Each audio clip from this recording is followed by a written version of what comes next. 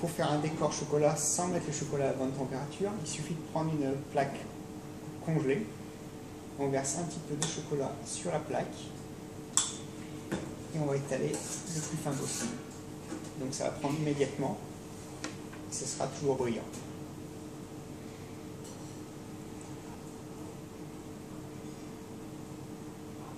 On peut aussi le travailler, le tourner, faire ce qu'on veut comme ça.